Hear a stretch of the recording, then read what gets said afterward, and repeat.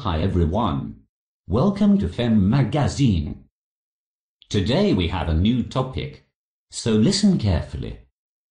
Today we will discuss further about the good ancestor and potential wealth building. Doing things which lead towards your own wealth is fantastic, but also leaving a legacy for generations to come. Most individuals are preoccupied with regurgitating what they witness on social media. And that always is a bad thing, because no creativity could ensue. Your finest course is by gathering the resources you know and which variables may be deployed as assets, meaning those potentially adding to revenue streams. The fundamental value within is thrift. You do not want to spend all your savings before you even initiated the good ancestor disciplines. Middle-class workers are easily tempted to utilize their income during the initial paycheck. That is a mistake since there are certain things you might channel it towards. You possess the choice of saving it for practical pursuits or deliberately setting up a fund which then serves as an investment. Increase your propensity for stuff that inspires you.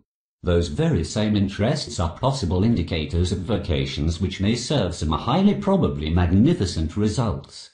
Anything that is led towards the discipline of bankability is ideal.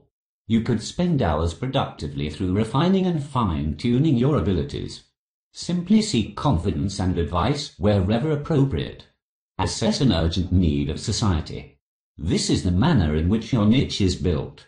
Once people are dissatisfied with something, then finding ways of addressing those issues is commendable. You perform a feasibility study beforehand and consult some experts as to whether your proposed methodology is actionable or not. Increase your financial intelligence. Just because your ancestors, grandparents and those who came ahead of them were so mired in struggle and strive does not mean you subscribe to the same mindset. In fact, you may break the spell and brainwashing of laborious and futile thinking through commencing those actions leading towards the manifestation of larger assets in your life. The masses regard passive income as sitting around and sipping some lots without doing anything. That huge fallacy is what keeps the citizens from reaching their full potential. Of course, during the start-up phases regarding any enterprise, some hard work and effort is imperative. There are even days once you spend through your personal legal tender, but it does pay off once the right target market is reached. Before signing up towards any regimen, read the fine print early on. Never register until all questions are clarified. There has to be a list of possible assignments you will undertake and their designated pipelines. Sans an enumeration of logistics, it becomes a mere exercise in fantasizing and doing nothing. Practicalities are indispensable.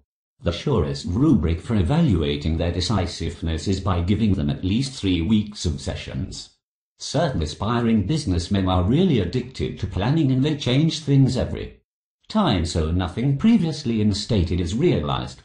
Steer clear from these folks because though they can be nice people in real life, they lack the faculty of implementing actualization.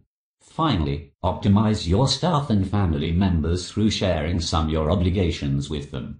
It zaps your energy when lots of complex attributes arrive into play.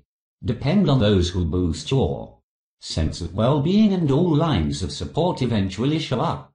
Please subscribe and share for more videos. Thanks.